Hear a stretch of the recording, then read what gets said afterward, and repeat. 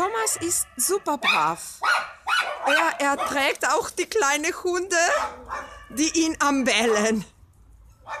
Er ist super brav und ganz, ganz lieb, sehr ausgeglichen.